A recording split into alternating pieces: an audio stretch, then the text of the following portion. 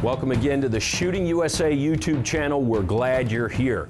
If you haven't already done so, please consider subscribing. It really does help with the algorithm. And click the bell icon. That way you'll get notifications every time we post new content. If you're interested in full-length current Shooting USA shows, there's a link to our Vimeo channel in this video's description. A few dollars a month gets you unlimited streaming of over 60 full-length episodes. Also remember to check us out on Facebook and Instagram. So now, here's what you came to see. When you think of the American dream, the entrepreneurial spirit is the backbone of it. Add to that the pit bull like tenacity ingrained in every U.S. Army Ranger, and you have retired Sergeant Major Tom Fuller, the man behind Armageddon Gear.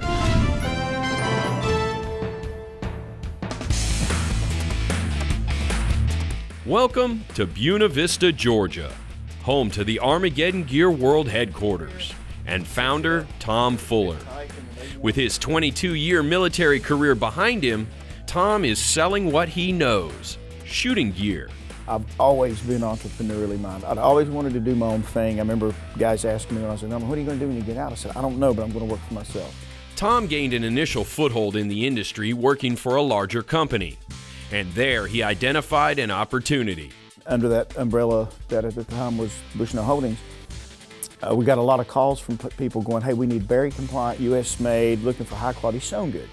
Berry compliance, simply put, requires that anything sold to the U.S. military be U.S. made from U.S. sourced components. Well, the brands we had, like most at that time, had been bought and weren't made in the USA anymore, which they weren't Berry compliant, which means they couldn't be sold to the military in contract. Constantly getting those calls. Hey, we need Berry compliant made in USA soft goods. Tom's first idea that would turn out to be a big one a custom rifle sling based on a design from his time as a ranger. Hated every sling I'd ever been issued. The sling was kind of a necessary evil. You got to have it. Hurts, doesn't, you know, just kind of in the way. But uh, in when I was in Second Ranger Battalion, we had a sewing machine in the barracks, and guys made this sling that they fashioned themselves, and and was running it. And I remembered that, and I called a, a buddy of mine who was in the, who was out of the military at the time and worked in the industry. I said, do you remember those slings that you guys made in the barracks? He goes, yeah, I actually have one. So he sent me one and I'm like, man, this is, this is cool. I really like it. So I thought, man, this would be a great idea. He sold as many as he could have made. And that led to the next big idea. The first big thing we did was uh, the Army was doing a sniper tripod kit. And they said, we need a way to carry this tripod. We need a sling for a tripod. We need to sling a tripod over our shoulder. And I said, man, I don't, I don't think there's anything like that. Never heard of anything like that. But I could probably figure out how to do it. And in my mind, I saw it, but I can make it. That vision took him from designer to manufacturer. And uh, from that sample that we made, sent to them, uh, they wanted, I think, 6,000 of them but he didn't have the capital, material, or machines to fill the order. What he did have, an understanding of how military procurement systems work. I called one of the larger of those military resellers and I said, look, I'll give you really good margins on this if you'll prepay. I already had the order in hand from the government. I said, I can make it if you'll prepay me. So they prepaid me. Tom started buying machines and materials, and Armageddon gear was off to the races. Just as the first 6,000 piece order was completed and delivered, the Marine Corps had adopted the same tripod system that the Army snipers had used, but instead of a sling, they wanted a scabbard. We figured out how to sew it, and they wanted 4,000. So we started making those as soon as we were done with, with that.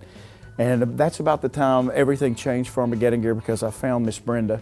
With Miss Brenda came a generation of textile manufacturing experience. She used to run a 200 person sewing plant in South Carolina before the sewing was moved overseas and just knows her way around the sewing room and the sewing machine. But I've, I've worked in sewing all my life and that's the only thing I ever wanted to do. So Miss Brenda staffed the sewing room and more military contracts came in the door.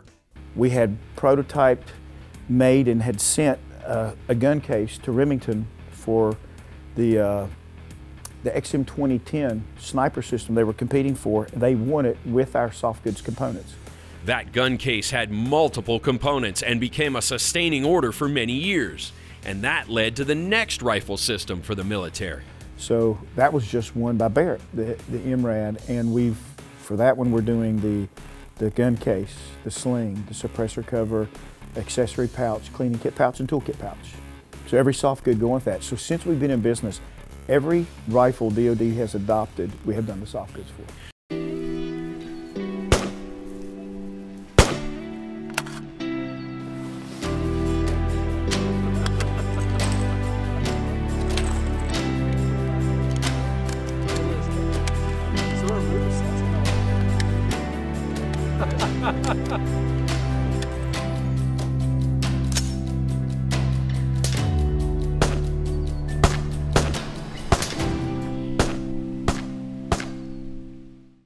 With government contracts driving the early success of Armageddon gear, Tom Fuller was able to position his company to catch the wave of popularity surrounding precision rifle competition.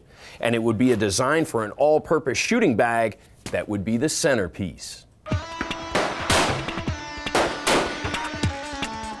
There was a lot of luck involved. The really lucky part is we started making products for the precision rifle shooting community as that sport just took off.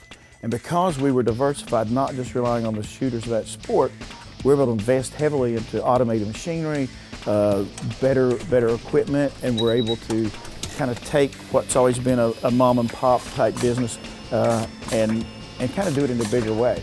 It would be one design in particular that would take Armageddon gear to the next level. Gap Grind like three years ago, I saw a game changer bag. I'm like, what's that? That's kind of weird. And we shot off of it. Me and the guys on my squad, it was there as like a sample.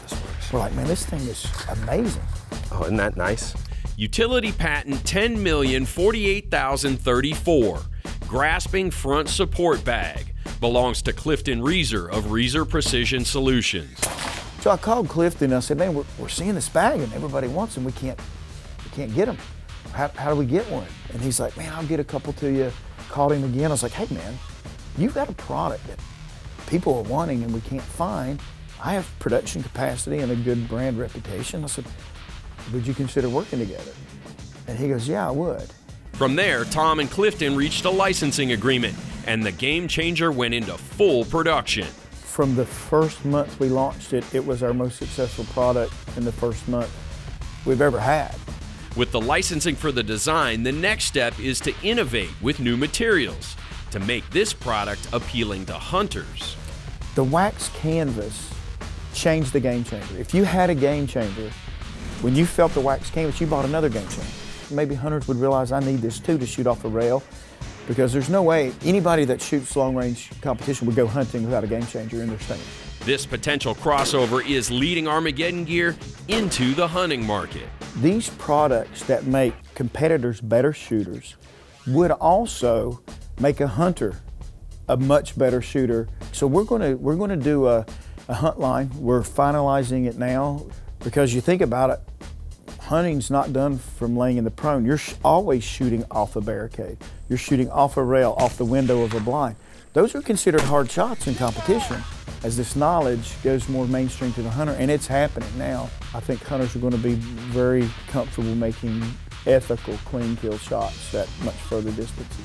Competitors and hunters both benefit from a more stable shooting position, and so do the adaptive shooters. You got a lot of the, the, the wounded warrior and adaptive shooters now that are that have different injuries that preclude them from moving properly or even shooting from the wheelchair. So we've done a lot of work taking these bags and, and making them where guys can get a comfortable shooting position when they can't put their body in the position they want. They can still use those bags to, to get a good solid shooting position. That's something that, you know, it's cool to be a part of. The innovation is ongoing.